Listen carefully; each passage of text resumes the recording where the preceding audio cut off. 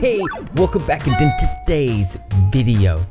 The current situation is that a a girl named Sarah has came forward saying, claiming allegedly that uh, Lainey, Lainey Bot, Onision's wife, or otherwise known as Kai, had a romantic interest in her around the ages of 14 and 15. The situation gets pretty crazy, and uh, it will also enlighten you on why Onision's fan base has declined in the most uh, in the past couple years.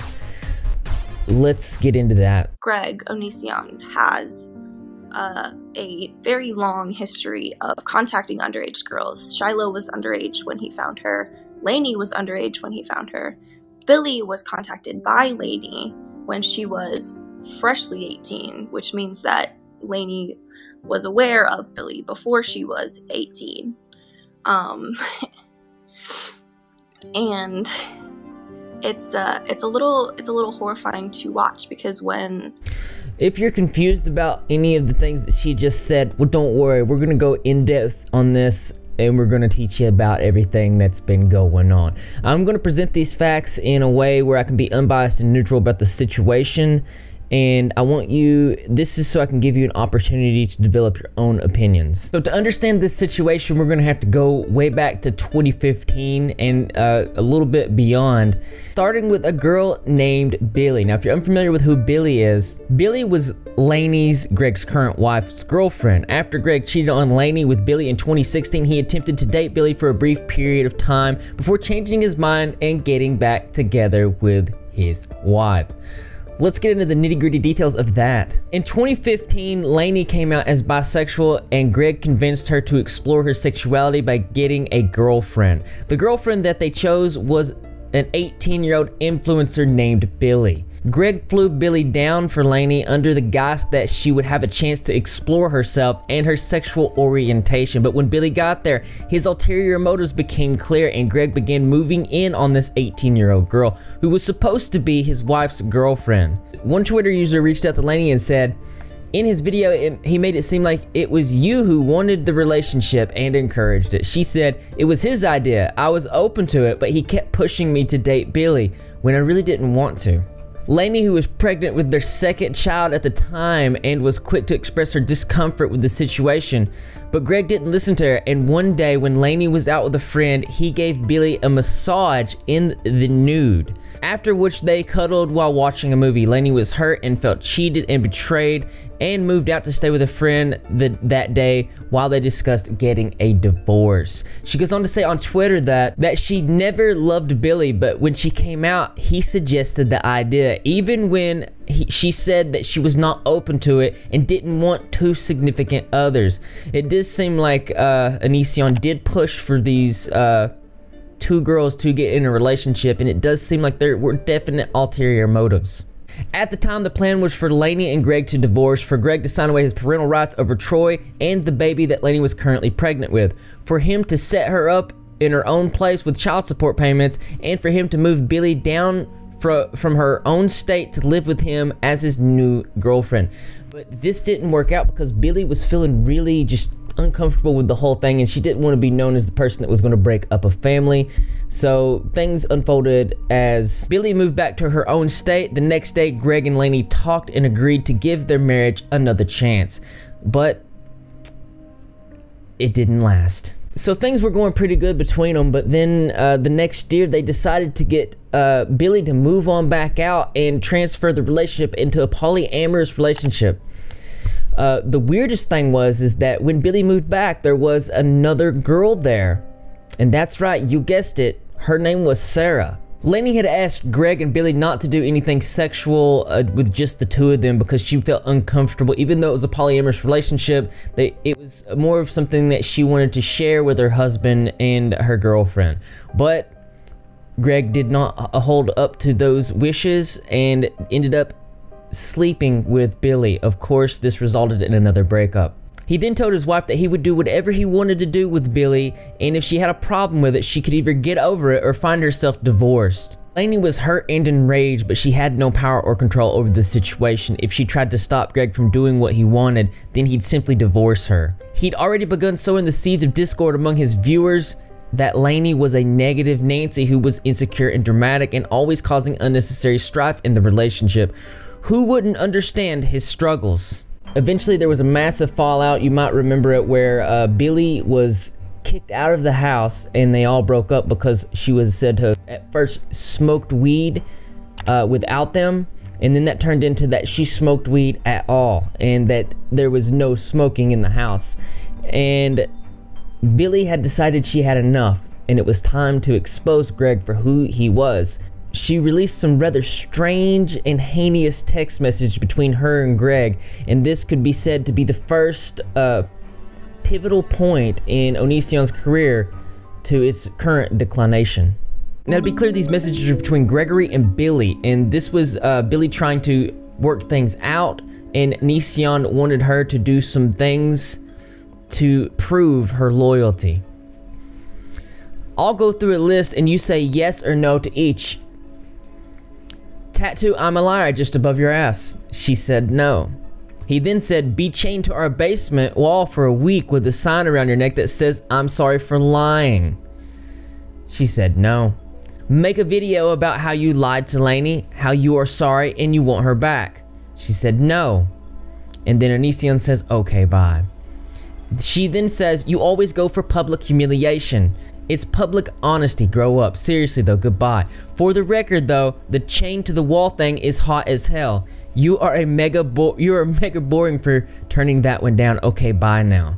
In another series of messages, it does allude to the fact that Onision seems to want to isolate the girls from their families. Again, Billie is in blue, saying I only get to see my family two times an entire year, unfair to me and all of my family. Lainey only sees hers twice a year, but that's just because she doesn't feel the need. And you know, she FaceTimes them often, which you could do, but your answer is still no, so that's it. My family loves me a lot. Okay, you need to see illegal drug users more than twice a year. Got it. This one year is not worth you making up for the violating the contract, lying to us again. Got it. Okay, okay, goodbye. The contract that he's talking about is that's right. He arranged some sort of special contract between them uh, and their polyamorous relationship and it strikes me as such an odd and it's almost caught like in ways. Very few people who were not familiar with his personal life or who couldn't see through him or discern the subtly abusive patterns in his relationships and personal conduct knew how abusive he was in private. Most people were still under the impression that he was just a very douchey online personality, and the people who did know about what a piece of S he was were too scared to come forward about it because this all happened during the time when he still had a considerably large following. So you can see that this is when his channel started to fall, which is very interesting. Finally, after Greg and Lainey broke up with Billy, Greg was still pushing hard for Lainey to try to get a girlfriend to explore her bisexuality, um, but it seemed clear at this point uh, what his ulterior motives were.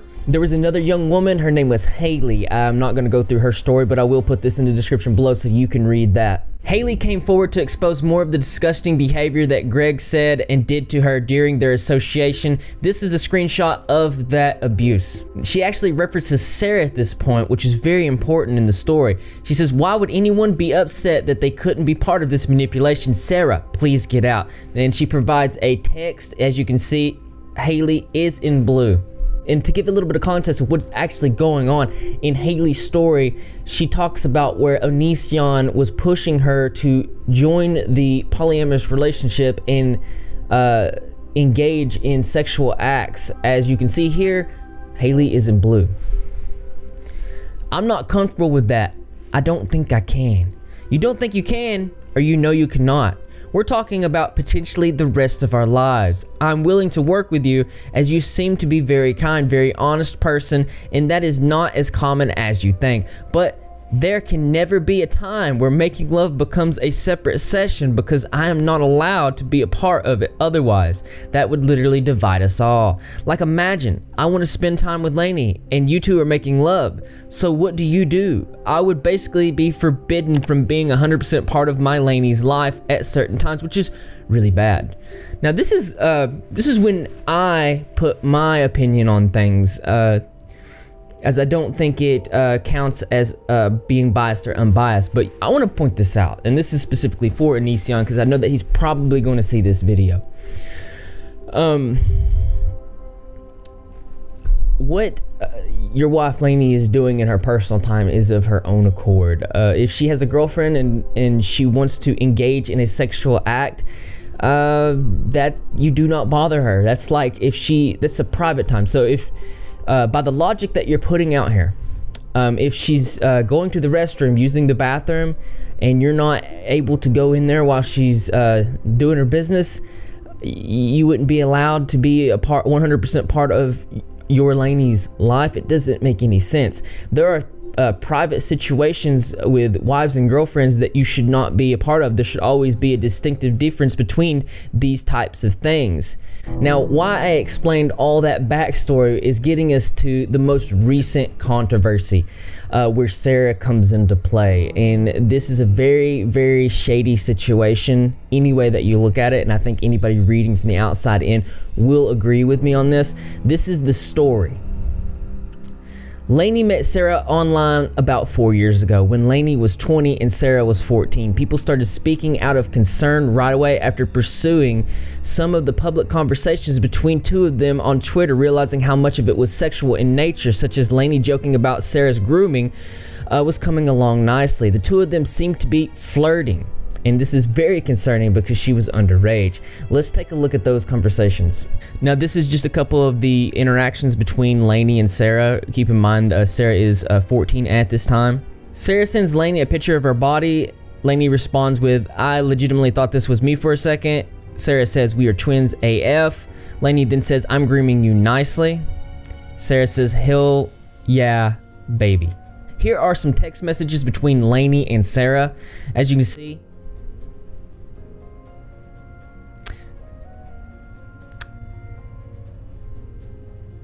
I think I'm low key in love with you, TBH. This is conversations between Sarah and her mother. Uh, Sarah in blue. Do you care that I'm friends with a 20 year old girl?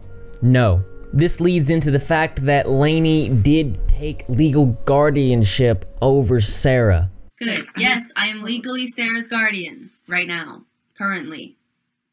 Her mother signed guardianship over to me. It has been notarized and I have legal custody of Sarah right now. I just want to take a pause for a second, and I want you to look at how young uh, Sarah looks. And uh, I just I don't think that anybody that sees the situation can see how rough it is. And at the time that this was going on, there were speculations that there was a intimate relationship going on with this underage teen, but nothing was in concrete evidence. But at one point, the cops did get called out Police were called because people were concerned about the nature of Lainey and Sarah's relationship, but Greg did his I'm going to make other party look crazy thing and exaggerated the situation, told the cops that his followers are crazy trolls, spreading rumors that he kidnapped Sarah to keep as a sex slave. Around this time that all this stuff was happening, uh, late 2015, an online journalist wrote an article about Greg rating the bodies of underage girls, which uh, pre dated all of the drama with Billie. I don't think I can recall any other incident at this time that they caught more criticism for. And you can see with all this going on, as you know, um, Onision got in a relationship with his wife Lainey when she was underage. Billie was also underage when they first started talking. And then the journalist writes about this uh, Onision rating the bodies of underage girls, and all this put together uh, added up and put a lot of pressure on Onision's channel, and uh, probably the reason why no one is watching it today. This is a picture of all of them together. As you can see, it's Sarah, Billie, Greg, and Ayalla. I feel like I'm saying that name wrong. I do apologize. Uh, a, this was the best friend of Billie, and some really uh, serious events unfolded and caused them to leave, as you will see. Lainey's most dedicated superfan a 16 year old girl named Lane, notice another underage girl, saw what Greg had done and was currently doing to Billie and decided to come out in her support. Greg, Lainey, and Sarah were extremely angry about this and felt she'd betrayed them. Lane had defended Billie on Twitter saying she did not agree with how Greg was treating her. Lainey and Greg were pissed. Greg then tweeted about how Lane betrayed Lainey and Lainey sent her messages about how she's fake and thought that they were friends and a lot of really manipulative guilt tripping stuff. Let's read some of those messages. First, we'll start with the tweets uh, from Greg to Lane. Lane says to Onision, I stood by them when you betrayed them to go watch anime with Billie. I care about them and will always care about them. Onision replies, and look at you now, stabbing Lainey in the back like a traitor you are. Hence why they blocked you, traitor. Uh, Lane then says, not stabbing Lainey in the back, supporting someone through a tough situation shouldn't make me a traitor. Onision replies with, you definitely are a traitor. Billie screwed over Lainey more than even her ex-boyfriend. You stand by Billie, you are a traitor scum. I do want to point out that this is very immature behavior and also very immature behavior for uh, an online personality. And I really don't even think I need to point out that these types of conversations should not be online in the beginning. Now here's the messages uh, Lainey sent to Lane. Lainey says to Lane, honestly, I thought you were my friend and you took her side. Seeing you teaming up with Haley, someone else who hurt the F out of me in support of the girl who broke my heart, cheated on me, lied to me, etc., was one of the hardest parts of this whole thing. You are fake. I want nothing to do with you. Lane then replies with, I still want to be your friend though. I never said anything bad about you and I never wanted this to hurt you. I was only supporting her because it was wrong for her to be humiliated like that in front of of so many people. We're not doing this to spite you. So after Lane coming out in support of Billie and then Lainey getting mad at Lane because of this, and I know it's really hard to keep up with this, uh, Lane did get in contact with Sarah, or rather Sarah reached out to Lane. It's about to get big because this is why we've started talking about all of this. This is why it's all relevant. Sarah had told Lane that she was in love with Lainey, that Greg had told her repeatedly that he thought she and Lainey should date, and that Sarah had expressed repeated interest in becoming a member of the triad. Now, okay, at this point in time, you can see that Lainey was the legal guardian of uh, Sarah but everyone had their suspicions that Sarah was being groomed for sexual intentions. And this news broke yesterday that Sarah had come out and, in fact, said just that. This is incredibly illegal if any of this holds true. Now, these are all allegations. Let's read further. None of it was confirmed until yesterday when Aaliyah and Lane confirmed without a doubt everything that everyone had suspected all along about the nature of Greg and Lainey's relationship with Sarah, which is that to one extent or another, they had been grooming this 14 year old to one day be primed to enter a sexual relationship with two grown adults who at one point acted as her legal guardians and who hold an enormous amount of psychological and financial power over her, where they were rescuing her from an abusive home life where she was being sexually abused and neglected by drug abusing parents, feeding and housing her and clothing her and pretending to care. They are also taking advantage of her feelings of gratitude and friendship and an inability to correctly interpret those as confused teenage abuse victims with mental illnesses, borderline personality disorder, leaving her in a position to be highly susceptible to emotional manipulation on their part. And here are the tweets that were released by uh, Alaya Ayalla. I'm so sorry. Uh, yesterday about that, uh, Sarah herself admitted to me at 15 in Greg's house that she had not only been flirting back and forth with Lainey at some points, but they also had romantic discussions at the age of 15. Just because she's 18 now doesn't mean they're any less predatory. One Twitter user goes on to say, This is so disgusting and predatory. They've been pursuing her for years. That speaks volumes. Sarah needs to run. They'll ruin her once she gives them what they want. She's not special like Lainey claiming she is. That's what all predators do. One Twitter user asks Lane, What did flirting and talking entail? Like, can't wait to bang when you turn 18? Or did they really sleep in the same bed? Lane responds with, I'm not 100% about what the conversations were. I know Sarah said that they discussed being in a relationship in the future, and Greg being fine with it, encouraging it. I also don't know if they slept together, but they did all cuddle. Now, it, you can see where there's a massive amount of concern uh, that Greg was okay with this and was talking to this 14 year old girl, encouraging a future relationship. It is, by definition, grooming. I do want to take this moment to say that I did present this knowledge without saying anything, uh, without degrading and without saying anything overly negative about any persons in this because it allows you to process everything without uh, listening to the bias of a person that obviously hates these uh, people and you're able to shape and form your own opinions and able to understand the story more clearly. Now, if you're interested in more stories like that in the future, definitely subscribe with notifications turned on. This is still currently ongoing as uh, Yala, I'm so sorry, I feel like I'm saying that wrong, uh, did tweet and say, Greg is continuing to contact me with the disgusting accusations. This is not the end. So make sure you're definitely keeping up to date with this with the notifications turned on because we're going to be following this as it unfolds. Um, always keep an open mind with this stuff because a lot of people can be biased. Never forget that. You need to think for yourself. I highly encourage that because as interesting as it is, there's always something that's more interesting to me. That's right, you guessed it. I want to know what you think. So why don't you go leave your creative and interesting responses in the comment box below. Thumbs up, thumbs like this always, brothers and sisters. I will see you in the next video.